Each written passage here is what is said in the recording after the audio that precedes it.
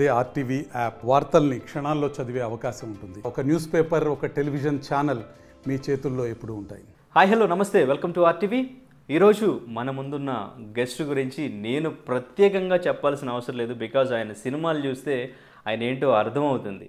ఒక sensational director blockbuster director ఇటువంటి పదాలన్నిటికీ correct definition B Gopal garu. So ఆయన ఎన్నో బ్లాక్ బస్టర్స్ ఇండస్ట్రీకి అందించారు. ఇప్పుడు చిరంజీవి గారి బర్త్డే సందర్భంగా blockbuster Indra movie re release అవ్వబోతుంది. మరి ఇంద్రాకి సంబంధించి ఎన్నో విషయాలు తెలుసుకోవాలని ఎప్పటి నుంచో ఫ్యాన్స్తో పాటు నాకు కూడా చాలా కుతూహలంగా ఉంది. ఇంద్ర బిహైండ్ అసలు ఏం జరిగింది? అసలు స్టోరీని ఎలా నెరేట్ చేశారు? చిరంజీవి గారు ఎలా యాక్సెప్ట్ చేశారు? ఇదంతా కూడా తెలుసుకోవాలి అసలు. సినిమా అంత బాగా రావడానికి కారణం ఏంటని చెప్పేసి. సో ఈరోజు బి గోపాల్ గారు మనకి టైం ఇచ్చారు. సో ఈ విషయాలన్నీ తెలుసుకునే ప్రయత్నం చేద్దాం. సార్ నమస్తే సార్. నమస్తే so first of all thank you so much time ఇచ్చినందుకు. మీ సినిమాలు చూస్తేనే అర్థమవుతుంది. అంటే ఫస్ట్ నాకు మీ ఇంటర్వ్యూస్ ఇవన్నీ చూసిన తర్వాత ఈయనైనా ఈ సినిమాలు అసలు డైరెక్ట్ చేసింది? ఇంత సైలెంట్గా ఉంటున్నారు. సినిమాలు చూస్తే మాత్రం చాలా వైలెంట్ ఉంటుంది. స్టార్స్ని స్టార్ లాగా చూపించాలి. పక్క కమర్షియల్ మూవీని పర్ఫెక్ట్గా తీయాలి అంటే మీరే. రీసెంట్గా చిరంజీవి గారు వీడియో కూడా పెట్టారు. సో పక్క కమర్షియల్ మూవీకి పర్ఫెక్ట్ డెఫినేషన్ అంటే ఇందిరా మూవీ. మా బాలుడు మంచి గోపాలుడు అని చెప్పేసి మీ గురించి చాలా చక్కగా చెప్పారు. ఆ మెమరీస్ని అన్నీ కూడా ఒకసారి అయినా రికలెక్ట్ చేసుకున్నారు. అసలు ఇందిరా స్టోరీని ఎలా స్టార్ట్ చేశారు? ఫ్యాక్షన్ స్టోరీని చిరంజీవి గారితో చేయాలి అని మీకు ఎందుకు అనిపించింది? ఎలా అనిపించింది? దానికి కారణం చిన్ని చిన్నకృష్ణ సబ్జెక్ట్ చెప్పటం. తను చెప్పేటప్పుడే సెట్ చేసి first Vijayawada backdrop Krishna river backdrop అని అట్లా చెప్పాడు. చెప్పినప్పుడు దత్ గారు అందరం ఓకే ఇంకా చిన్ని బాగా చేస్తాడు బాగా చేస్తాడు అప్పటికి అంత ఇంకా కాన్ఫిడెన్స్ లేదు. అందరికీ. అంటే చాలా వేగ్గానే ఫస్ట్ థాటే అట్లా చెప్పాడు.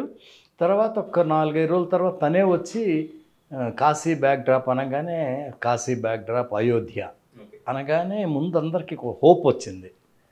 బాగుంటుందని. అట్లా చిరంజీవి గారికి ఆ ఐడియా థాట్ నచ్చింది. దత్ గారికి నాకు అందరం బాగుంటుంది అనే అనుకున్నాం. అప్పుడు చిన్ని ఇంకా కాశీ వెళ్ళి అక్కడ కూర్చొని మొత్తం నన్ను తీసుకెళ్ళి నీ కాశీలోనే చెప్తా.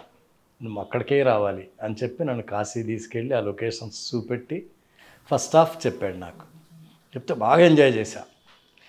చిన్ని ఫస్ట్ హాఫ్ ఏం చెప్పాడో నేను ఏం విన్నానో నాకు బాగా నచ్చింది. వెంటనే దత్తుగారికి ఫోన్ చేశా.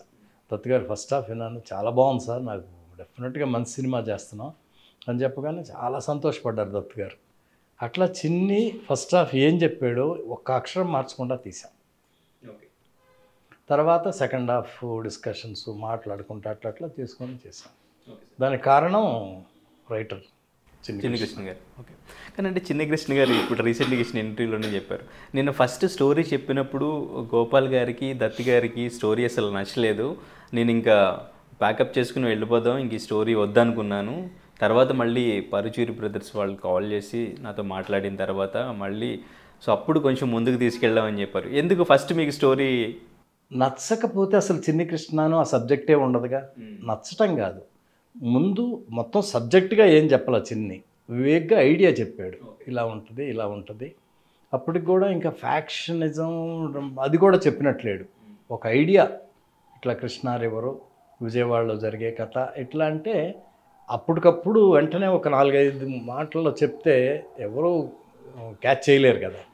అంతేగాని నచ్చకపోవటం అనేది ఏం లేదు. నచ్చకపోతే అసలు సినిమా ముందుకు వెళ్ళదు కదా అట్లా అనుకున్న తర్వాత తనే ఇందాక చెప్పే కదా కాశీ బ్యాక్ డ్రాప్ అనగానే ముందు ధైర్యం వచ్చింది అందరికీ. తర్వాత తపన చిన్ని బాగా. తనే కష్టపడ్డాడు తనే సీన్ బై సీన్ కాశీలో కూర్చొని చేసుకున్నాడు. అట్లా చేసుకొని కానీ చిరంజీవి గారు ఫ్యాక్షన్ మూవీ చేయడం అనేది అదే ఫస్ట్ టైం. సో చిరంజీవి గారు వెంటనే యాక్సెప్ట్ చేయడానికి అంటే ఎలా నెరేట్ చేశారు? అప్పుడు ఎలా ఆయన యాక్సెప్ట్ చేశారు? నచ్చింది చిన్ని నేరేట్ చేయగానే ఆయనకు బాగా నచ్చింది. ఫస్ట్ హాఫ్ ఒకరోజు సెకండ్ హాఫ్ ఒకరోజు అనుకుంటా. మళ్ళీ ఇంకొకసారి మళ్ళా వింటానని చెప్పి ఇక్కడే ఇక్కడ సెకండ్ టైం వినేటప్పుడు ఇక్కడికి వచ్చి ఇక్కడ ఈ కుర్చీలో కూర్చొని ఇక్కడే ఉన్నారు దత్తు గారు నేను పరచు బ్రదర్స్ అందరం బయట ఉన్నాము. ఆయన చిన్ని నేరేషన్ అయిపోగానే చిరంజీవి గారు వచ్చి బయటకు వచ్చి మాకు చెప్పిన మాట. నాకు చాలా బాగా నచ్చింది. ఎప్పుడెప్పుడు చేయాలని ఉంది దత్తు గారు? మీరు వెంటనే షూటింగ్ ప్లాన్ చేసేసుకోండి. అంత నచ్చింది నాకని చెప్పి ఆయన చాలా హ్యాపీగా చాలా బాగుందని చెప్పి చాలా ధైర్యంగా చెప్పారు. ఆయన చెప్పిన తర్వాత మాలో కూడా ఉన్న డౌట్లు కొన్ని మా గోపాలకృష్ణ గారు కన్విన్స్ చేసి సెకండ్ హాఫ్ మెయిన్గా. అట్లా చిరంజీవి గారు చెప్పిన తర్వాత ఇంకెవరు ఏం డౌట్ పట్టడం అదేం లేదు. దాన్ని డెవలప్ చేసుకొని మా పరచూరు గోపాలకృష్ణ గారు కూడా ఆ సీను చిరంజీవి గారు సొనాలి బింద్రి అందరూ తాంబూలాలు తీసుకొని వెళ్ళి ఇంటికి వస్తారు. ఆ సీన్ అయితే ఎక్స్ట్రాడినరీ పరుచూరు గోపాలకృష్ణ గారు. ఆయన కన్సీవ్ చేసిన విధానం. ఏదో డౌట్ ఉండింది. ఆ డౌట్ కూడా క్లారిఫై అయిపోయి ఆయన షిరిడి వెళ్ళాల్సి ఉంది. పరుచూరు వెంకటేశ్వరరావు గారు పరుచూరు గోపాలకృష్ణ గారు ఆ రోజు బయలుదేరి షిరిడి వెళ్ళాలి. మాకు ఆ సీన్ ఇంకా అందరం ఆర్గ్యూ చేసుకుంటున్నాం. అప్పుడు చిరంజీవి గారు గోపాలకృష్ణ గారు ఉండకూడదా? షిరిడి దండం పెట్టుకుందాం అందరం బాబాకి అని చెప్పి చిరంజీవి గారు అందరం అడిగేటప్పటికి గోపాలకృష్ణ గారు ఆయన మానుకున్నారు షిరిడి వెళ్ళటం. వెంకటేశ్వరరావు గారు వెళ్ళారు. ఆ సీను బ్రహ్మాండంగా గోపాలకృష్ణ గారు కన్సీవ్ చేసి రాసేటప్పటికి మంచి గిఫ్ట్ ఇచ్చారు చిరంజీవి గారు గోపాలకృష్ణ గారికి. పర్టికులర్గా ఆ సీన్ కోసం. ఓకే. మంచి అప్పట్లో ఏంటి? ఫోన్. ఓకే. అప్పటి లేటెస్ట్ ఫోన్ గోపాలకృష్ణ గారు గిఫ్ట్గా ఇచ్చారు చిరంజీవి గారు. ఆయన చిరంజీవి గారి మంచితనం అది. అంటే ఒక సీన్ బాగా వచ్చేటప్పటికి సీన్ బ్రహ్మాండంగా వచ్చేటప్పుడు ఆయన సంతోషపడిపోయి అప్పటికప్పుడు ఫోన్ ఆయన కొని తెప్పించి గోపాలకృష్ణ గారు గిఫ్ట్ ఇచ్చారు. అది అంటే ఎంకరేజ్ చేయటం ఆయన చిరంజీవి గారు గ్రేట్ సినిమా అంటే తపన పడిపోతారు ఆయన. అట్లా చిన్ని పరుచూరు బ్రదర్స్. పర్టికులర్గా ఆ సీన్ బ్రహ్మాండంగా రావడానికి కారణం మీకు గుర్తే ఉండే ఉంటుంది. ఆ సీన్. దత్తు గారు అయితే నేను ఎడిటింగ్ చేసి చూపిస్తే ఆ పర్టికులర్ సీను పన్నెండు అయింది నా అర్ధరాత్రి. ఎందుకో దత్తుగారు వచ్చారు. వచ్చి దత్తు గారు సీన్ చూద్దురు రండి అని చెప్పి సీన్ చూపిస్తే ఆయన బ్రహ్మాండంగానే అర్ధరాత్రి చిరంజీవి గారికి ఫోన్ చేశారు. ఫోన్ చేస్తే చిరంజీవి గారు ఏంటి ఇప్పుడు ఫోన్ చేసింది అంటే సార్ ఇప్పుడు ఈ సీన్ చూశానండి. ఇది ఒక సాంగ్ అండి. అంత బ్రహ్మాండంగా నచ్చింది నాకు. అంటే చిరంజీవి గారు కూడా చాలా సంతోషపడిపోయారు. అట్లా పరచూరు గోపాలకృష్ణ. ప్రతి ప్రతి సీన్ సార్ అక్కడ శివాజీ గారిది ఆ సీన్ కానివ్వండి ప్రకాష్ రాజ్ గారు వచ్చిన ప్రతి సీను ఒక్క సీన్ అని కాదు అసలు సినిమా చూస్తుంటే ఆ బ్యాక్గ్రౌండ్ మ్యూజిక్ కానివ్వండి ప్రతి డైలాగు ఈవెన్ కామెడీ అసలు ఏది తక్కువ కాదు. ఫుల్ మీల్స్ అంటే మూవీ అనుకోవచ్చు. బట్ సార్ అంటే మీరు ఇంతకుముందు చిరంజీవి గారితో స్టేట్ రౌడీ మెకానికల్ ఇటువంటి మూవీస్ చేశారు. ఫ్యాక్షన్ మూవీ అండంగానే మీరు బాలకృష్ణ గారు. సమరసింహారెడ్డి నరసింహనాయుడు. సో ఇవే గుర్తొస్తాయి. ఫ్యాక్షన్ అంటే బాలకృష్ణ గారు. మీరు ఆడియన్స్ కూడా ఫ్యాక్షన్ బ్యాక్డ్రాప్లో చూడాలంటే బాలయ్య గారిని ఇమాజిన్ చేసుకుంటున్న ఆ టైంలో ఆ సిచ్యువేషన్లో ఈ ఫ్యాక్షన్ డ్రా బ్యాక్డ్రాప్కి చిరంజీవి గారిని ఎంచుకోవడానికి ప్రత్యేకంగా రీజన్ ఉందా? ఆయన దృష్టిలో పెట్టుకునే స్టోరీ రాసుకున్నారా? ఎలా జరిగింది సార్? దత్తు గారు నేను దత్తు గారి బ్యానర్లో ఫస్ట్ టైం చేయటం. నేను అంతకుముందు అసిస్టెంట్ డైరెక్టర్గా పనిచేశాను. నేను డైరెక్టర్ అయ్యే ముందు ఫస్ట్ నేను కో డైరెక్టర్ మా గురువు గారి దగ్గర రాఘవేంద్ర రాఘవేంద్ర. అగ్నిపర్వతం ఆ సినిమా కో తర్వాత డైరెక్టర్ అయిపోయాను అట్లా దత్తు గారి బ్యానర్లో చేశాను డైరెక్టర్గా మా గురువు గారు చాలా సినిమాలు చేశారు. Jagadeka Veerudu Athiloka Sundari extraordinary movie. Chiranjeevi గారు రాఘవేంద్రరావు గారు దత్ గారు. నన్ను దత్ గారు గోపాల్ సినిమా చేద్దాం చిరంజీవి గారు తనగా నాకు చాలా సంతోషం వేసింది. మళ్ళీ చాలా గ్యాప్ తర్వాత అంతకుముందు స్టేట్ రౌడీ మెకానికల్ చేసిన తర్వాత కొంత గ్యాప్ తర్వాత మళ్ళీ చిరంజీవి గారితో చేయటం చిరంజీవి గారు అంటే ఎవరైనా ఇష్టపడిపోతారు కదా మెగాస్టార్. అట్లా అనుకొని చిరంజీవి గారు అనుకున్న తర్వాత చిన్ని కృష్ణ అనుకొని చిన్ని కృష్ణ వచ్చి లైన్ చెప్పాడు. చెప్తే అందరికీ నచ్చింది. అట్లా చిరంజీవి గారితో బాగా డిఫరెన్స్. ఫస్ట్ హాఫ్ అంతా కాశీ సరదాగా. సెకండ్ హాఫ్లో ఫ్లాష్ బ్యాక్ ఏంటి రాయలసీమ? అది అందరికీ నచ్చింది ఆయనకి నచ్చింది చిరంజీవి గారికి. అట్లా మొదలైపోయింది సార్ సో ఫస్ట్ హాఫ్ మొత్తం కాశీలోనే షూట్ చేశారు సార్ ఫస్ట్ హాఫ్ అది. ఫస్ట్ లక్నోలో చేసాం తర్వాత కాశీలో పదకొండు రోజులు చేసాం సో ఈవెన్ చిరంజీవి గారు రాయలసీమకి ఎంటర్ అయిన తర్వాత అక్కడ వచ్చిన క్రౌడ్ అంతా అదంతా రియల్ షార్ట్స్నే యూజ్ చేశారంట కదా సార్ అది? షూటింగ్ జరుగుతుందని అక్కడికి వచ్చారు రియల్ ఏంటి? రియల్ జనం. మెగాస్టార్ చిరంజీవి గారు అక్కడ ఉంది. ముందు అనంతపూర్ అనుకున్నాం ఆ సీన్ దత్ గారు అందరం. అనంతపూర్ అనుకుంటే ఎందుకోనో అనంతపూర్లో ఏదో కుదరలా. అప్పుడు పర్మిషన్లో అట్లా. అప్పుడు కుప్పం అనుకున్నాం. ఫస్ట్ టైం నాకు తెలిసి చిరంజీవి గారు కుప్పం రావటం. మేము చిరంజీవి గారు నేను స్వామి గారు సాయిబాబా గారు దత్ గారి సాయిబాబా గారు అందరం కలిసి హెలికాప్టర్లో వెళ్ళాం కుప్పం. వెళ్ళి జనం వస్తూ ఉన్నారు. మేము మధ్యాహ్నం రెండు గంటలకి షూటింగ్ మొదలుపెట్టాం. జనం విపరీతం. విపరీతం అంటే విపరీతం. మీరు చూశారు సేమ్ ఆ క్రౌడ్. ఒక్క రోజులో ఒక్క రోజు ముందు వాళ్ళకి తెలిసింది ఇక్కడ షూటింగ్ చేయబోతున్నారని అంతమంది జనం వచ్చారు. ఎక్కడెక్కడి నుంచి వచ్చారో వచ్చారు. నేను స్వామి గారు ఒక కెమెరా పెట్టుకొని ఒక మేడ మీద ఉన్నాం. ఓకే Second విజువల్స్ వాడేద్దాం ఇంకా. రియల్ జనం. నెక్స్ట్ ఇంకో కెమెరా ఇంకో చోట స్వామి గారి అసిస్టెంట్ మూడో కెమెరా నాలుగో కెమెరా పెడితే మేము ప్లాన్ చేసుకుందంటే ఫస్ట్ కెమెరా అయిపోయిన తర్వాత ఇక్కడ నుంచి మేము నెక్స్ట్ కెమెరా నెక్స్ట్ కెమెరా దగ్గరికి వెళ్దామని. స్వామి గారు నేను వెళ్ళలేకపోయాం. చిరంజీవి గారు పొజిషన్ నా జీప్లో వెళ్తున్నారు. జనం మా వల్ల కాల వెళ్ళటం. అంటే క్రౌడ్ అంత ఎక్కువ ఉంది అసలు. ప్లేస్ లేదు వెళ్ళటానికి. ఇక అందరికీ ముందే ఇన్స్ట్రక్షన్స్ ఇచ్చి అంతా చెప్పాం కాబట్టి మొత్తం తీశారు. తర్వాత మళ్ళా చిరంజీవి గారు తిరిగి మేము ఉన్న చోటకు వచ్చేటప్పుడు అప్పుడు మళ్ళా వెళ్తా క్లోజప్స్ కొంచెం మిడ్ షాట్లు అట్లా తీసుకుంటే వెళ్ళాం అంటే యాక్చువల్గా ఆ సీన్కి మీకు క్రౌడ్ కావాలి. కావాలి. మేము కూడా ఎక్స్పెక్ట్ చేయాల? అంటే వస్తారని తెలుసు కానీ అసలు ఏ స్ట్రీట్ చూసినా ఒట్టి ఇంతవరకే తలలు కనిపిస్తున్నాయి.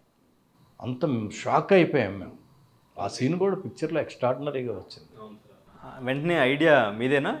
ఈ విజువల్స్ యూజ్ చేస్తే బాగుంటుంది. మేము వెళ్ళిందే అందుకు. ఓకే. వెళ్ళిందే అక్కడ షూటింగ్ చేయడానికి అంటే ఆయనకి బ్రహ్మాండమైన పేరు కదా సినిమాలో. ఫ్లాష్ బ్యాక్లో ఆస్తి మొత్తం ఆస్తి అంతా మొత్తం రాయలసీమ వాళ్ళ కోసం దానం చేసి వెళ్ళి ఒక ట్యాక్సీ డ్రైవర్కి ఉంటాడు ఒక రిచెస్ట్ మ్యాన్ గవర్నర్ లాంటి ప్రకాష్ రాజ్ గారు గవర్నర్ ఆయనే వచ్చి చూసి అప్పుడు కలెక్టర్ చూసి దండం పెట్టాడంటే ఆయనలో ఉన్న గొప్పతనం అది. దాన్ని చూడటం కోసం ఆయన రిసీవ్ చేసుకోవటం వచ్చినట్టు. మామూలుగా అయితే కొంతమంది వస్తారు. అసలు ఎంతమంది లక్ష పైన లక్షల్లో ఉండి ఉంటారు. అంటే ఇక చిరంజీవి గారి ఇమేజీ మెగాస్టార్ ఆయన చూడాలంటే ఎవరికైనా ఇష్టం కదా. అట్లా ఆయన కోసం వచ్చిన వాళ్ళందరూ జనం. రియల్గా.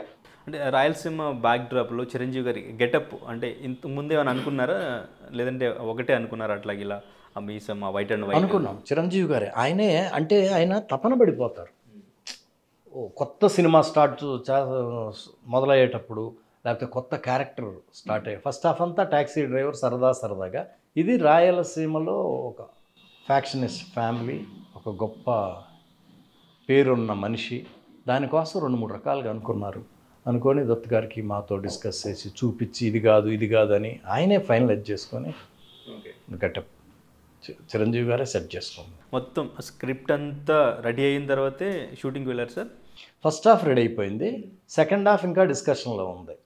ఫస్ట్ హాఫ్ అంతా అయిన తర్వాత అప్పుడు కూడా సెకండ్ హాఫ్ మీద కొంచెం బాగా గట్టిగా తర్జన భర్జన పడ్డాం డిస్కస్ చేసుకున్నాం. ఓకే. ఇంకా బాగుండాలి నడుస్తున్నప్పుడు కూడా. ఇంకా చేంజెస్ దత్తు గారు కొన్ని అడిగి నేను కొన్ని అడిగి అట్లా అనుకుని అనుకుని ఫైనల్గా సెట్ చేసాం okay. Chinni Krishna Parchur brothers. Okay. అందరూ అనుకుని ఈవెన్ అంటే ప్రతి డైలాగ్ కూడా బాగుంటుంది. చిరంజీవి గారు చెప్పే ప్రతి డైలాగ్ సో అంటే మీరు ఇచ్చిన స్క్రిప్ట్ డైలాగ్స్ కాకుండా స్పాట్లో చిరంజీవి గారు ఏమైనా అక్కడ ఇంప్రూవైజేషన్ చేసి ఆయన చెప్పినవి ఆయన చేసిన యాక్టింగ్ కానీ అటువంటివి ఏమైనా ఉన్నాయా? స్పాట్లో మీరు వెంటనే క్లాప్స్ కొట్టినవి. ఉన్నాయి. ఫస్ట్ పెద్ద ఎపిసోడ్ బ్ర- మంచి ఎపిసోడ్ చిరంజీవి గారు అల్లుడిని షౌకత్ అలీ ఖాన్ కొడతాడు. అది లక్నోలో ప్లాన్ చేసాం ఫస్ట్ షూటింగే అది. పెట్టుకోవటమే పెద్ద ఎపిసోడ్ పెట్టుకున్నాం. ఏది? షూటింగ్ స్టార్ట్ చేయటమే లక్నోలో. పెద్ద ప్యాలెస్ అది ఒకప్పుడు ఇప్పుడు స్కూల్కి ఇచ్చారు. అక్కడ షూటింగ్ చేస్తున్నాం మేము ఇంకా షార్ట్ రెడీ చేసుకుంటున్నాం. ఫస్ట్ షాటే చిరంజీవి గారు లోపల ఉన్నారు. చిన్న కృష్ణ డిస్కస్ చేసుకుంటా చిన్ చిరంజీవి గారు బయటకు వచ్చి గోపాల్ అల్లుడు దెబ్బ అల్లుడిని కొడుతుంటే నేను వచ్చి షౌకత్ అంత అంటాను. తప్పు పెద్దోళ్ళదన్న బట్టి పిల్లల నడవడి ఇది ఉంటుంది. తప్పు నా తప్పు నా అది అక్కడ దెబ్బ నేను దెబ్బలు నన్ను కొట్టమంటాను దెబ్బలు దీన్ని కామ్గా వెళ్ళిపోతున్నాను. అక్కడ డైలాగ్ లేదు ముందు స్క్రిప్ట్లో. ఇక్కడ ఏదన్నా డైలాగ్ ఉంటే భలే ఉంటుంది. గోపాలకృష్ణతో ఆయన హైదరాబాద్లో ఉన్నారు. పరశూరి గోపాలకృష్ణతో మాట్లాడదామంటే మాట్లాడదామని ఫోన్ చేశాను. చెప్పారు ఇట్లా అని ఐదు నిమిషాల్లో నేను ఫోన్ చేస్తాను. లేదు నేనే ఫోన్ చేస్తానని చిరంజీవి గారు ఆయన అసలు సీన్ బ్రహ్మాండంగా రావటం కోసం తపన పడిపోతాడు ఆయన. ఆయన అడగగానే మాకు కరెక్ట్ అనిపించింది. గోపాలకృష్ణ గారి మళ్ళీ చిరంజీవి గారు గోపాల్ ఫోన్ చేసి మాట్లాడదాం అని ఫోన్ చేసి మాట్లాడితే వెంటనే చెప్పాడు ఆయన. గోపాలకృష్ణ. ఐదు నిమిషాలు కూడా కాల. తప్పు నా వైపు ఉంది కాబట్టి తలదించుకొని వెళ్తున్నాను లేకపోతే తలలు తీసుకెళ్ళేవాడిని అని చెప్ అని చెప్పగానే చిరంజీవి గారికి బలి నచ్చింది. మాకు కూడా థియేటర్లో కూడా క్లాప్స్.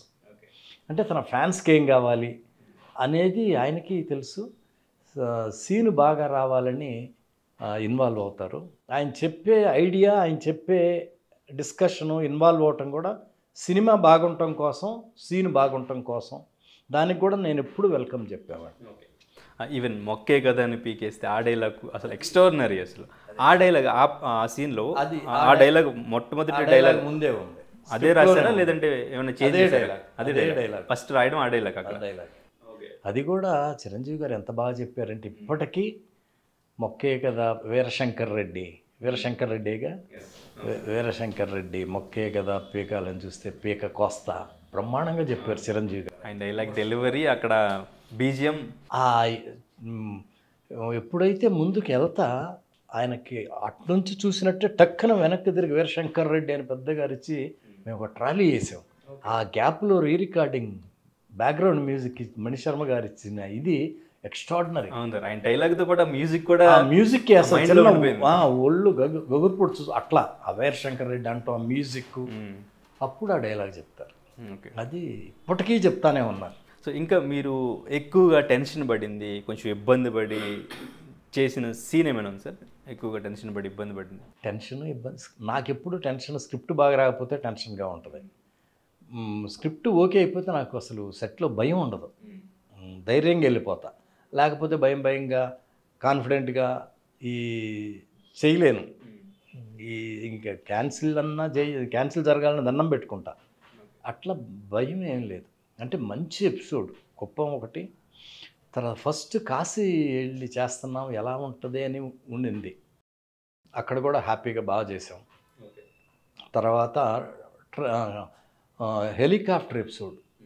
ట్రైన్ వస్తుంటే చిరంజీవి గారు హెలికాప్టర్లో వచ్చి కరెక్ట్గా రైల్వే ట్రాక్ మీద దిగుతారు. అక్కడ రైల్వే ట్రాక్ మీద దిగే దగ్గర సెట్ చేయటం ఆ వుడ్ అది పెట్టడం హెలికాప్టర్ దిగే దగ్గర ఎలా ఉంటుందా అని కొంచెం టెన్షన్ ఉండింది. హ్యాపీగా అన్నీ జరిగిపోయాయి. అక్కడ కూడా చిరంజీవి గారు హెలికాప్టర్ దిగేది మేము లో యాంగిల్ పెడితే ఆయన దిగటం రావటం. అంటే మీ మూవీస్ మ్యాక్సిమం ఈ రైల్వే స్టేషన్లో డెఫినెట్గా ఒక సీన్ డెఫినెట్గా ఉంటుంది. ఏంటి సార్ మీకు అది? స్క్రిప్టే. రైటర్స్ స్క్రిప్ట్ ప్రకారం. సో మొత్తం కాశీ అండ్ ఇంకా ఈ రాయలసీమ బ్యాక్ డ్రాప్ అంతా కుప్పం. మిగతాది రామోజీ ఫిల్మ్ సిటీలో సెట్ వేసాం విలన్స్ హౌస్ అటు ఇటు హీరో హౌస్ సాంగ్స్ ఏమో స్విట్జర్లాండ్. ఓకే మొత్తం అన్ని. ఒకటి కాశీ ఫస్ట్ సాంగ్ కాశీలో కాశీలో ఒక song rain song Ramoji film city ఇంకొక సె- ఆర్తి అగర్వాల్ చిరంజీవి దాయి దాయి చిరంజీవి గారు ఆర్తి అగర్వాల్ పాట రామోజీ ఫిల్మ్ సెట్. దాయి దాయి దామ్మ స్విట్జర్లాండ్. స్విట్జర్లాండ్. తర్వాత రాధే గోవింద సెట్స్లో. ఓకే తర్వాత అయ్యో అయ్యో ఆ పాట Switzerland. Even dance every moment మైండ్లో ఉండిపోయిన సాంగ్స్ కానీ మూమెంట్స్ కానీ అన్నీ కూడా దాయిదాయిదాం ఎస్పెషల్లీ సో ఇప్పటికీ కూడా ఇంకా ఆ మూమెంట్ని బ్రేక్ చేసే మూమెంట్ లేదేమో అనిపిస్తుంటుంది. సో ఫస్ట్ లారెన్స్ గారికి అసలు ఆ స్టెప్ అసలు అది ఎన్ని రోజులు రిహార్సల్ చేశారు ఆ స్టెప్ థాట్ ఎలా వచ్చింది అసలు? చిరంజీవి గారు ఫస్ట్ లొకేషన్స్లో ఆ స్టెప్ వేసినప్పుడు మీ ఫీలింగ్ ఏంటి సార్? అంటే లారెన్స్ క్రియేటర్ డ్యాన్స్లో మూమెంట్స్ అవి క్రియేట్ చేయట్లో మాస్టర్ ఆ మ్యూజిక్కి తగ్గట్టు తపన పడిపోతాడు తను కూడా. అట్లా ఆ రిహార్సల్స్ చేసుకునే దాంట్లో వాళ్ళ కొత్త కొత్త ఆలోచనలు వస్తాయిగా. అందులో లారెన్స్ మాస్టర్ చిరంజీవి గారు అంటే ఇంకా ఎక్కువ ప్రేమ. తన ఫస్ట్ డ్యాన్స్ మాస్టర్ని చేసింది చిరంజీవి గారే. చిరంజీవి గారు అంటే ఆయనకి ఎట్లా బ్రహ్మాండంగా చూపెట్టాలి కొత్త మూమెంట్స్ వేయాలి అని బాగా తపన పడిపోతాడు. అట్లా కంపోజ్ చేసిన మూమెంట్. దానికి Chiranjeevi garu Lawrence master hundred percent compose చేసి టూ హండ్రెడ్ పర్సెంట్ న్యాయం చేశారు. ఆయన ఆ చిరంజీవి గారు మెగాస్టార్ చిరంజీవి గారి బాడీలోనే ఆ గ్రేస్ ఉంటుంది. ఆ డ్యాన్సు ఆయన స్టైల్స్ ఆ షార్ట్ ఫినిషింగ్ కూడా ఈ బిగినింగ్ నుంచి కూడా నేను ఆయన అబ్జర్వ్ చేసేవాడిగా డైరెక్టర్ ఆయన సినిమా చేయకముందు నుంచి కూడా.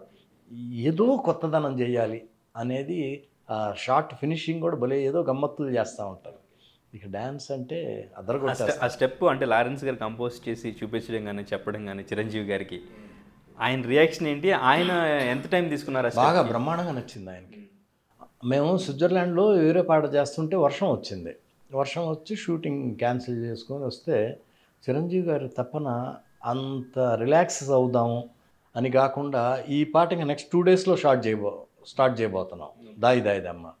లారెన్స్ మాస్టర్ మాస్టర్ రిహార్సల్స్ చేద్దాం అని వాళ్ళిద్దరు అనుకొని ఫైవ్ అవర్స్ రిహార్సల్స్ చేశారు. ఓకే అంత చలిలో హాల్లోనే చేస్తుంది హోటల్లో బట్ స్వెట్ ఎంత కష్టమైన మూమెంటు.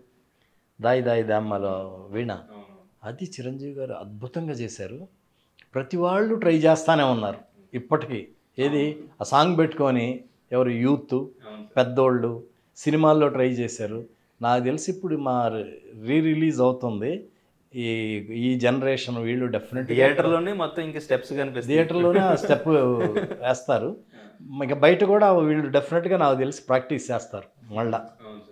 ఇంకా అంటే మూవీ మీరు అక్కడ చూసి చిరంజీవి గారు యాక్టింగ్ కానీ ఇంకా ఆర్టిస్టులు అందరూ ఒక ఏదైనా సీన్ చూసి అక్కడే మీరు ఎమోషనల్ అయిపోయి లేదంటే అక్కడే క్లాప్స్ కొట్టేసిన అటువంటి ఎమోషనల్ సీన్ ఏదైనా అనిపించిందా మీకు మొక్కే కదా పేకాలంటుంది అదొకటి. తర్వాత చిరంజీవి గారు అదే సోనాలి బింద్రే అందరూ తాంబూలాలు తీసుకొచ్చేది. ఆయన వాళ్ళ ఇంటికి వచ్చి ఆ కండవ తీసి లాగి కూర్చుంటారు. కూర్చునే కూడా స్టైల్ ఆయన మామూలుగా వచ్చి ఇట్లా కూర్చోవటం మీరు అసలు వచ్చి దాన్ని కూర్చొని ఇట్లా నీ కాలు ఇక్కడికి పోయి ఇల్లు వచ్చినట్టు ఉంటుంది. వెళ్ళి వెళ్ళిపోతా మళ్ళీ వార్నింగ్ ఇచ్చి వెళ్తారు. అది క్లాప్స్ కొట్టాం అందరం. అట్లాగే బంబం బోలే సాంగ్. ఎంత ఎంజాయ్ చేసామంటే మేము నేను ఒక డైరెక్టర్నని లేకపోతే స్వామి గారు కెమెరాని కాకుండా మేమందరం ఆయన స్టెప్స్కి క్లాప్స్ కొట్టాము అక్కడ. అంత ఎంజాయ్ చేసాం మేము కూడా. బంబం బోలేయడం. అవును సార్. సాంగ్ కూడా ఎక్స్ట్రాడినరీ. శంకర్ మహాదేవన్ గారు హరిహరన్ గారు ఇద్దరు కలిసి మణి శర్మ గారు వాళ్ళు హరి సింగర్ శంకర్ మహాదేవన్ సీతారామ శాస్త్రి గారు రాయటం. బ్రహ్మాండంగా మణిశర్మ గారు ఎక్స్ట్రా మ్యూజిక్ ఎంత సాంగ్స్ అన్ని ఎంత బ్రహ్మాండంగా చేశారు. ఒక్క రోజులో ట్యూన్ చేశాడు బంబం బోలే ఇవాళ చిరంజీవి గారితో చెప్పించాం సిచ్యువేషను చెప్పిస్తే నెక్స్ట్ డేకి రెండు ట్యూన్లు ఇచ్చాడు. అందుట్లో ఒక పాట బంబం బోలే అందరికీ వినగానే నచ్చింది ట్యూన్. దానికి సీతారామ శాస్త్రి గారు బ్రహ్మాండంగా. మొత్తం ఎన్ని డేస్ చేశారు సార్ షూటింగ్ ఇందర? టోటల్గా? కాశీలో ఎక్కువ భాగం చేసాం కొంత ఇక్కడ సెట్ వేసాం సెవెన్ ఏకర్స్లో. కాశీలో హీరో హౌస్. అక్కడ నైట్ ఎఫెక్ట్ అట్లా.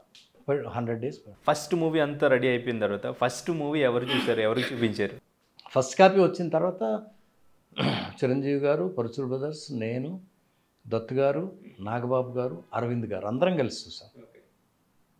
అందరం కలిసి చూసాం నైట్ ఫస్ట్ కా చూడగానే అందరికీ బాగా నచ్చింది. కొంచెం లెంగ్త్ ఉండింది. ఆ లెంగ్త్ తీయటం కోసం మేమంతా ఇన్వాల్వ్ అయిపోయి ఉన్నాం ఎయిటింగ్ చేసి చేసి. చిరంజీవి గారిని కూడా కూర్చోబెట్టి ఆయన కూడా వచ్చి కూర్చున్నాం ఆయన నాగబాబు గారు పరుచూరు బ్రదర్స్ అందరం కూర్చున్నాం. నైట్ అంతా కూర్చున్నాం. ఫస్ట్ కాపీ చూసి కొంచెం ట్రిమ్ చేశారా?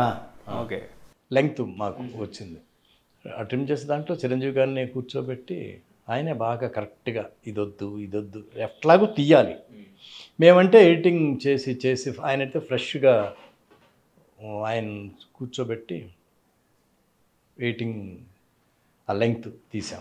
అప్పుడు పర్ఫెక్ట్ కరెక్ట్గా వచ్చింది. రిలీజ్కి ముందు మీకేమైనా టెన్షన్ ఉండిందా? ఉంది. సినిమా ఎలా వచ్చింది? ఎలా రిసీవ్ చేసుకుంటారు? టెన్షన్. చిరంజీవి గారి first time faction backdrop. ఎలా రిసీవ్ చేసుకుంటారు ఫ్యాన్స్? టెన్షన్ ఉండిందా? బాగా ప్రతి సినిమాకి టెన్షన్ పడతా. అందులో చిరంజీవి గారితో చానాళ్ళ చాన్ చానాళ్ళ తర్వాత మెకానికల్ తర్వాత చేస్తున్నా. దొత్తు గారి బ్యానరు అంతకుముందు అన్ని సూపర్ హిట్లు చిరంజీవి గారితో ఆయన. చూడాలని ఉంది. జగదేక్ వీరుడు అతిలోక సుందరి ఈ బ్యానర్లో వస్తుంది. ఎలా ఉంటుంది ఎలా ఉంటుంది? ధైర్యం ఉంది. But tension.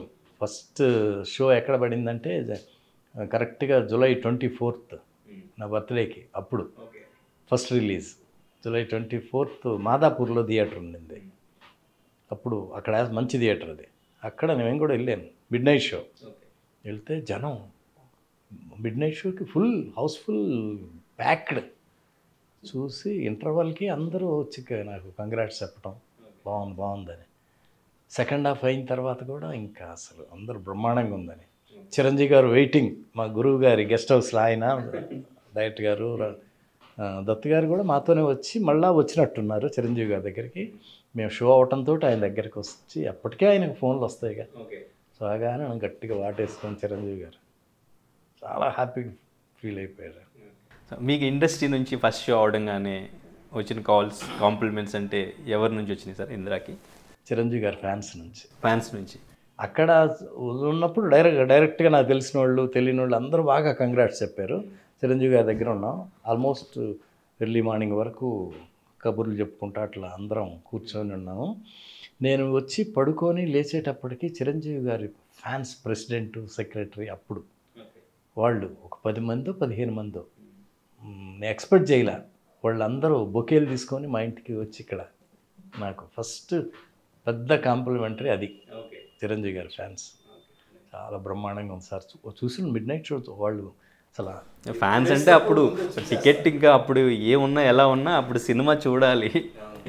మెయిన్గా అంతమంది పది మందో పదిహేను మంది వచ్చారు. బాగా గుర్తు నాకు. ఇప్పటికీ అసలు ఇట్లా కళ్ళలో మెదులుతూ ఉంటుంది. వాళ్ళు వచ్చి అప్రిషియేట్ చేసేటప్పటికి చాలా సంతోషం వేసింది నాకు. ఒక సినిమా సినిమా హిట్ అంటే మాకు అంతకంటే కావాల్సింది ఏముంది ఇండస్ట్రీ నుంచి ఎవరు కాల్ చేయలేదు సార్? అందరూ. అందరూ. చిరంజీవి గారు మాట్లాడుకున్నాం. అంటే తర్వాత వరకు ఆయన దగ్గరే ఉన్నాం మ్మ్. చాలామంది అందరు ప్రొడ్యూసర్లు ఫ్రెండ్స్. ఇక దత్తు గారు అయితే ఆనందానికి పట్టలేము ఆయన్ని. గ్రేట్ మేకర్ కదా. ఎన్ని సూపర్ హిట్లు దత్తుగారికి దత్తు గారికి కాంబినేషన్స్ కానీ. Great maker. సినిమా అంటే ప్రాణం ఆయనకి. సినిమా అంటే పిచ్చి. సినిమా కోసం సెటిల్ అయ్యటానికి వెనకాడు డబ్బులు ఖర్చు పెట్టడానికి అందరినీ బ్రహ్మాండంగా చూసుకుంటారు. నాకు బాగా ఇష్టమైన మా దత్తు గారు. కానీ ఇందిరా టైంలో మీరు అల్లరి రాముడు కూడా అట్ ఏ టైం రెండు డైరెక్ట్ చేసినట్టున్నారు కదా సార్. సో మీరు కొన్ని సీన్స్కి ఇందిరా సెట్స్లో లేకపోవడం ఆడియో లాంచ్లో కనిపించకపోవడం ఇవన్నీ కూడా కొన్నప్పుడు నేను అక్కడ షూటింగ్లో కెనడాలో. కొన్ని అప్పుడు రూమర్స్ వచ్చినట్టున్నాయి. మీ చిరంజీవి గారు మీకు ఏదో డిఫరెన్సెస్ వచ్చినాయి అని అప్పుడు రూమర్స్ వచ్చినట్టున్నాయి కదా సార్. అవే కదా దాని గురించే మేబీ. అదేం లేదు. అదే మీరు అక్కడ ఆయన ఎప్పుడు అసలు ఆయన మంచి మనిషి. ముందే తెలుసు ఆ సినిమా ఈ సినిమా ఆయనే చేసుకోమన్నారు.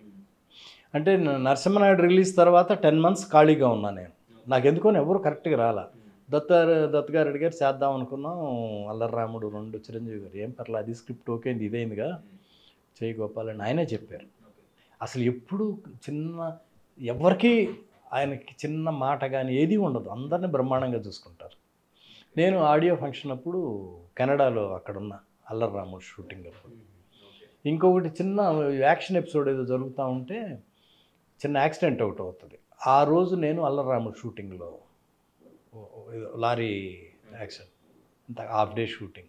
At a time అంటే రెండు సినిమాలు డైరెక్ట్ చేయడం మీకు కొత్త ఏం కాదు ఇంతకు ముందు కూడా చేశారు. నేను బొబ్బిల్ రాజా లారీ డ్రైవరు అది పదిహేను రోజులు ఇది పదిహేను రోజులు చేశాను రెండు బ్లాక్ కూడా అట్లాగే అంటే కరెక్ట్ షెడ్యూల్ జరిగితే కరెక్ట్గానే ఉంటుంది. ఎప్పుడన్నా షెడ్యూల్ కరెక్ట్గా మిస్ అయ్యి సడన్గా ప్లాన్ చేస్తే అప్పుడు ఉండటానికి వీలవదు అంతకుముందు ఎవరి డేట్లు అంటే వాళ్ళకి వెళ్ళిపోవాలి కదా.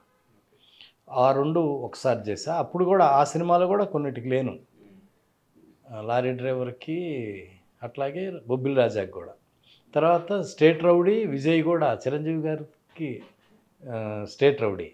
అప్పుడు కూడా తెలుసు ఆయనకు రెండు చేశాను ఓకే అవును. అప్పుడు కూడా కొన్నిటికి మిస్ అయ్యి ఉంటా. చిరంజీవి గారితోనూ నాగేశ్వరరావు గారితోనూ కలిపి మీరు మెకానికల్ మల్టీ స్టారర్ అనుకోవచ్చు అది తర్వాత అంటే ఎప్పుడు చిరంజీవి గారితోనూ బాలకృష్ణ గారితో మల్టీ స్టారర్ లాంటిది ఏమైనా ప్లాన్ చేయాలని ఎప్పుడు అనిపించలేదు సార్? అంటే సబ్జెక్ట్ కావాలిగా. సబ్జెక్ట్ ఉంటే మనం ధైర్యంగా వెళ్ళి అడగటానికే నాకు చనువు ఉంది కాబట్టి ఇద్దరి దగ్గర వెళ్ళి అడగచ్చు. సబ్జెక్టే అట్లాంటిది సెట్ అవ్వలేదు. అట్లా అట్లా ప్రయత్నం కూడా చేయలే. ఓకే ప్రయత్నం చేయలేదు. అంటే మెయిన్ ప్రొడ్యూసర్స్ని బట్టి ఉంటుందిగా. డేట్లు తెచ్చుకోవాల్సింది ప్రొడ్యూసర్స్. తర్వాత మేము సబ్జెక్ట్ తెచ్చుకోవాలి. అట్లా రెండు కుదరలే. సో కానీ ఎట్ ఏ టైం రెండు సినిమాలు చేస్తున్నప్పుడు మీరు అంటే అల్లరి రాముడు ఇటు ఇంద్ర. సో అటు నందమూరి ఫ్యాన్స్ ఇటు మెగా ఫ్యాన్స్ అనేది అప్పుడు బాగా. సో ఏదైనా మూవీ కొంచెం ఏ మూవీకి కొంచెం టాక్ తక్కువ వచ్చినా ఫ్యాన్స్ నుంచి రియాక్షన్ ఎలా ఉంటుందని టెన్షన్ ఏమైనా పడ్డారు మీరు? టెన్షన్ ఏం కాదు కానీ అంటే రెండు సినిమాలు బాగా చెయ్యాలి బాగా చెయ్య చెయ్యాలనేది ఆ తపన ఉంటుంది. ఒక్కొక్కసారి ఒకటి బ్రహ్మాండం కుదురుద్ది ఒక్కొక్కసారి ఏమో కొంచెం తక్కువ ఎక్కువ అట్లా ఉంటుంది. మెయిన్ దానికి కారణం సబ్జెక్ట్. సో ఈవెన్ ప్రభాస్ గారితో కూడా మీరు అడవి రాముడు. మీరు ఫస్ట్ యూటర్న్ తీసుకుని ఊరెళ్ళి వ్యవసాయం చేసుకుందాం అనుకుని యూటర్న్ తీసుకుని జాయిన్ అయిన సినిమా రాఘవేంద్రరావు గారి దగ్గర అడవి రాముడు. సో అదే టైటిల్తో ప్రభాస్ గారితో మూవీ చేశారు. వైజయంతి మూవీస్లో ఇప్పుడు వచ్చిన కల్కి మూవీ. సో మంచి రికార్డ్స్. ప్రభాస్ గారి మనకి ఇప్పుడు pan India even pan world కూడా అనుకోవచ్చు ఆ రేంజ్కి వెళ్ళిపోయారు. సో ఎలా అనిపిస్తుంటుంది చూస్తుంటే? నిజంగా చాలా. ఎందుకంటే దత్తు గారు ఎప్పుడు గ్రేట్ మేకర్. ఆయన తీయని సూపర్ హిట్స్ ఏమున్నాయి? ఎన్ని సూపర్ హిట్స్ ఎన్ని బ్రహ్మాండమైన సెట్స్ అన్ని పెద్ద హీరోలతో. అలాగే చిన్నాళ్ళతో కూడా వాళ్ళ పిల్లలు స్వప్న మా ప్రియాంక. చిన్న పాప వాళ్ళు కూడా బ్రహ్మాండంగా విజయ దేవరకొండతో అది మహానటి. మహానటి ఎంత గ్రేట్ మూవీ. నాకు ఎక్స్ట్రాడినరీగా నచ్చింది నాగశ్విన్. జీనియస్ తను. దత్తు గారు నాగశ్విన్ ప్రభాస్ అంటే ఇంకా పెద్ద స్టార్ అయిపోయాడు. వాళ్ళ కాంబినేషన్ కలిగి కలెక్షన్స్ ఎక్స్ట్రాడినరీ కదా. Records records. అది మా దత్తు గారు. ఆయనకి అంత కలెక్షన్స్ అంత పేరు రావటం న్యాయం. ఎందుకంటే సినిమా అంటే అంత తపన పడిపోతాడు ఆ కలికి ఏదన్నా అయితే ఏమవుద్ది? ఇంద్ర అప్పుడు కూడా ఎక్కువ ఖర్చు అంటే సబ్జెక్ట్ అట్లా. ఆయన ధైర్యం డెఫినెట్గా బ్రహ్మాండంగా ఉంటుంది. అని అంటే ముందు ఏమవుద్దా? ఇదేమన్నా అయితే నా పరిస్థితి ఏంటి? అట్లా ఆలోచించుకోడు ఆయన. ముందు నుంచి అంతే. Great maker. అట్లా కలికి సూపర్ సూపర్ హిట్. మేకింగ్ ఎక్స్ట్రాడినరీగా చేసి అంటే ఇప్పుడు ఖైదీ వన్ ఫిఫ్టీ నుంచి చిరంజీవి గారు మళ్ళీ గ్యాప్ తీసుకుని మళ్ళీ స్టార్ట్ చేసిన తర్వాత ఇప్పుడు వస్తున్న స్టోరీ సెలెక్షన్ కానీ ఆయన తీస్తున్న మూవీస్ కానీ సో వాటి పట్ల వాటి పట్ల మీ అభిప్రాయం ఏంటి? సో ఇప్పుడు చిరంజీవి గారు ఎటువంటి సబ్జెక్ట్తో వస్తే బాగుంటుంది అనుకుంటున్నారు? మీరు తీస్తే మళ్ళీ ఇప్పుడు ఎటువంటి సబ్జెక్ట్తో వచ్చి మెగాస్టార్ ఎప్పుడు. ఆయన డెసిషన్స్ అన్నీ బ్రహ్మాండంగా ఉంటాయి. ఆయన అంటే ముందు అసలు ఆ చిరంజీవి గారితో సినిమా చేస్తుంటే వాళ్ళ ఫ్యాన్స్ని దృష్టిలో పెట్టుకోవాలిగా. వాళ్ళకి ఏం కావాలో ఆయనకి తెలుసు చేసే డైరెక్టర్లకి రైటర్లకి అంత పొటెన్షియల్ పొటెన్షియాలిటీ ఉండాలి. అంత స్టఫ్ ఉండాలి సబ్జెక్ట్లో. సబ్జెక్ట్ బాగుంటే చిరంజీవి గారు మామూలుగానే తక్కువగా ఉన్న సినిమాలు కూడా బ్రహ్మాండంగా ఆడుతూ ఉంటాయి ఆయన కలెక్షన్స్. అట్లా సబ్జెక్ట్ బాగుంటే ఇంకా అసలు రికార్డ్స్ బాక్సులు బద్దలైపోతాయి అంటారు చూడండి అట్లా. ఇప్పుడు సీక్వెల్స్ కూడా మంచి ట్రెండ్ అయింది సార్. ఎప్పుడో thirty years back twenty years back వచ్చిన మూవీస్ కూడా ఇప్పుడు సీక్వెల్స్ తీస్తున్నారు. మీరు సీక్వెల్ తీస్తే ఏ మూవీ తీస్తారు?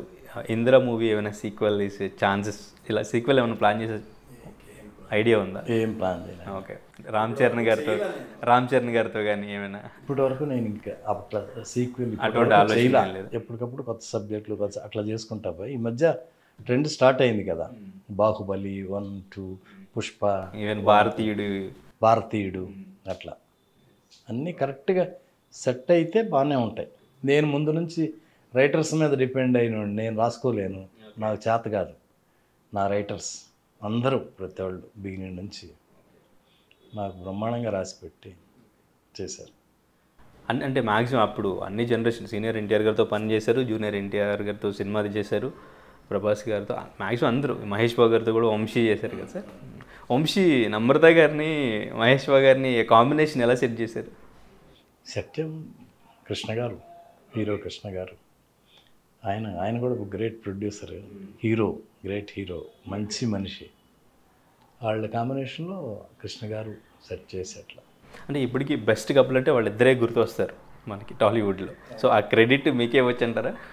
మీ మూవీ తర్వాత జరిగినట్టుంది కదా. అవును మా సినిమాలోనే. వాళ్ళిద్దరూ ఇష్టపడింది పెళ్ళి చేసుకుంది. మహేష్ నమ్రత కూడా మంచి అమ్మాయి. నేను వాళ్ళ నమ్రత వాళ్ళ సిస్టర్ శిల్పా శిరోద్కర్తో కూడా ఒక సినిమా చేశాను మోహన్ బాబు గారు బ్రహ్మ. హ్యాపీ వాళ్ళిద్దరికి. గౌతమ్ సితార బంగారం లాంటి పిల్లలు. అవును సార్ రైట్ మహేష్ కూడా గ్రేట్. సో ఫైనల్లీ అంటే ఇంకా మనం మాట్లాడాల్సింది చాలా ఉంది. బాలకృష్ణ గారిది గోల్డెన్ జూబ్లీ వస్తుంది ఫిఫ్టీ ఇయర్స్ సెలబ్రేషన్స్ దాని గురించి సో నెక్స్ట్ టైం మళ్ళీ ఇప్పుడు మీరు కొంచెం బిజీ ఉంటారు కాబట్టి నెక్స్ట్ టైం డెఫినెట్గా మాట్లాడదాం. సో ఫైనల్లీ చిరంజీవి గారి బర్త్డే ఇందర రీ రిలీజ్ అవుతుంది సో ఫ్యాన్స్కి చిరంజీవి గారికి విష్ చేయండి ఒకసారి. చిరంజీవి గారి బర్త్డే సందర్భంగా మా ఇంద్ర నాకు రీ రిలీజ్ రీ రిలీజ్ లాగా అనిపించట్లా. మళ్ళీ ఇప్పుడే రిలీజ్ అవుతుంది అన్నట్లు అనిపిస్తూ ఉంది. ఎందుకంటే ఇప్పటికి కూడా ఇందిరా గురించి మాట్లాడుతూనే ఉంటారు. ఫ్యాన్స్ అయితే ఎంత గ్రేట్ అంటే చిరంజీవి గారు నాకు ఇద్దరు కొంతమంది ఫ్యాన్స్ చెప్పారు. ఫస్ట్ టైం చెప్తే నేను షాక్ అయిపోయి నిజమా అన్నట్టుగా. ఎవరో డిన్నర్కి పిలిస్తే వెళ్ళా పిలిస్తే అక్కడ చిరంజీవి గారి ఫ్యాన్స్ ఉన్నారు. చిరంజీవి గారి ఫ్యాన్స్ అండి. ఇట్లా మేము? ఇంద్ర హండ్రెడ్ టైమ్స్ చూసామండి అన్నారు. "మేము ఉండండి. హండ్రెడ్ టైమ్స్ ఎలా చూస్తారు మీరంటే నిజం సార్ హండ్రెడ్ టైమ్స్ చూసాం సార్ అని.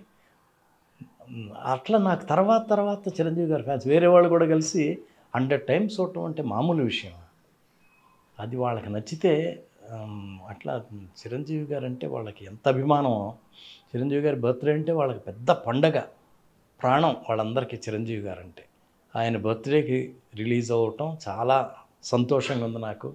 ఎందుకంటే ఆయన కష్టం ఆయన తపన ఆయన డ్యాన్సులు ఆయన ఫైట్లు ఆయన డైలాగ్స్ ఆయన ఇంద్రాలో ఆ క్యారెక్టర్ని చేసిన విధానం నేను ఇప్పటికీ మర్చిపోలేని అంత బ్రహ్మాండం. చిరంజీవి గారు మొన్న మాట్లాడటం కూడా చాలా బాగా మాట్లాడారు. ఇంద్ర సినిమా గురించి. ఫస్ట్ అయితే ఇంద్ర ఇంద్ర సేనారెడ్డి అనగానే ఇప్పటికీ ఇంద్ర అని తలుచుకుంటేనే ఏంటో చెప్పడం. ఎంత బాగా చెప్పారు ఆయన. అట్టా టెక్నీషియన్లు అందరి గురించి బాగా మాట్లాడారు. టెక్నికల్గా కూడా బ్రహ్మాండంగా బాగా నచ్చిన సినిమా అని చెప్పారు. అంతా ఆయన ఎంకరేజ్మెంట్ మా అందరికీ. సబ్జెక్ట్ దగ్గర నుంచి చిన్నిని కూడా బాగా అప్రిషియేట్ చేసి మా టెక్నీషియన్స్ అందరినీ మ్యూజిక్ పర్చూరి బ్రదర్స్ మణిశర్మ గారు ధర్మా మాస్టర్ సీతారామ శాస్త్రి గారు వేటూరి గారు అలాగే స్వామి గారు చిన్ని ప్రతి వాళ్ళు ఆర్ట్ డైరెక్టర్ అశోక్. ఇక మా దత్తు గారు అయితే చెప్పేది లేదు వాళ్ళిద్దరూ ఒకళ్ళకొకరు ఒకళ్ళంటే ఒకళ్ళకి ఎంత ఇష్టం? చిరంజీవి గారికి దత్తు గారంటే దత్తు గారంటే చిరంజీవి గారంటే దత్తు గారికి చిరంజీవి గారు కూడా అంత ఇష్టం. ఆయన బర్త్డేకి రిలీజ్ అవ్వటం నాకు చాలా సంతోషంగా ఉంది. ఇప్పుడున్న జనరేషన్ కూడా చిరంజీవి గారు చెప్పినట్టు ఇప్పుడున్న జనరేషన్కి కూడా బ్రహ్మాండంగా నచ్చుతుంది. ఎందుకంటే అన్నీ ఉన్నాయి. చిరంజీవి గారు డెఫినెట్గా మీరందరూ ఇందిరా చూసిన తర్వాత థియేటర్లో ఆ వీణ స్టెప్ ప్రాక్టీస్ చేస్తారు. ఇంటికి వెళ్ళిన తర్వాత మళ్ళా ప్రాక్టీస్ చేస్తారు. దాని ఆ వీణ స్టెప్లో చిరంజీవి చిరంజీవి గారు చేసిన విధానం అంత మాయ అంత మెస్పరిజం ఉంది అందుట్లో. అంత అద్భుతంగా చేశారు చిరంజీవి గారు. మీరు అందరూ హండ్రెడ్ పర్సెంట్ ఇంటికి వెళ్ళి కూడా మళ్ళీ ఒకసారి కింద కూర్చొని పైకి లేస్తూ ఆ స్టెప్ ప్రాక్టీస్ చేస్తారు. అంత బ్రహ్మాండంగా ఉంటుంది. చిరంజీవి గారి పర్ఫార్మెన్స్ కానీ అందరూ ఆర్టిస్టులు కమెడియన్స్ కామెడీ ఎంత బాగుంటుందో మీది తినాలి మాది తినాలి ఇప్పటికీ చెప్తానే ఉన్నారు. అట్లా ఈ సినిమాని మీరందరూ చూడాలి. మీరందరూ మళ్ళా ఒకసారి మెచ్చుకోవాలని మనస్ఫూర్తిగా కోరుకుంటున్నాను. హ్యాపీ బర్త్డే అన్న చిరంజీవి గారు. మీరు ఇంకా బ్రహ్మాండమైన సినిమాలు చేయాలి. మీ ఫ్యాన్స్కి మీ బర్త్డే అంటే వాళ్ళకి ఎంత పండగో ప్రతి సినిమా రిలీజ్ కూడా అంత పండగలాగా మీరు ఇంకా చాలా సూపర్ హిట్లు చేయాలి. మీరు మీ ఫ్యాన్స్ అందరూ బ్రహ్మాండంగా ఉండాలి హ్యాపీగా ఉండాలి. థ్యాంక్ యూ అన్న. Happy birthday. ఫైనల్లీ సార్ ఒకటి. ఇంద్రాకి సంబంధించి మేకింగ్ వీడియోస్ కావాలి అని ఫ్యాన్స్ కొంతమంది అడుగుతూ ఉన్నారు. ఈ మేకింగ్ సంబంధించిన వీడియోస్ ఏమన్నా రిలీజ్ చేసే ఛాన్స్ ఉందా? అడుగుతా దత్ గారిని అడుగుతా. దత్ గారు అన్నీ బ్రహ్మాండంగా ప్లాన్ చేస్తారుగా ఈ రీ రిలీజ్ అది కూడా దత్ గారు స్వప్న ప్రియాంక వాళ్ళ మిస్సెస్ పిల్లలు అందరు కలిసి ప్లాన్ చేసినది. ఓకే డెఫినెట్గా నేను దత్ హండ్రెడ్ పర్సెంట్ అడుగుతా దత్ గారు thank you sir thank you so much thank you Hyderabad Suchitra సర్కిల్కి ఒక విశేషం. మీ లలిత జ్యువెలరీ సుచిత్ర సర్కిల్కి వచ్చేసింది. ఆగస్ట్ పద్దెనిమిదిన బ్రహ్మాండమైన ప్రారంభోత్సవం Lalitha jewellery. A block? Green park avenue Suchitra road. మీ లలిత జ్యువెలరీలో ధరలు చెక్ చేయండి. డబ్బులు చాలా చాలా ఆదా చేస్తారు. డబ్బులు ఎవరికి? ఊరికే రావు.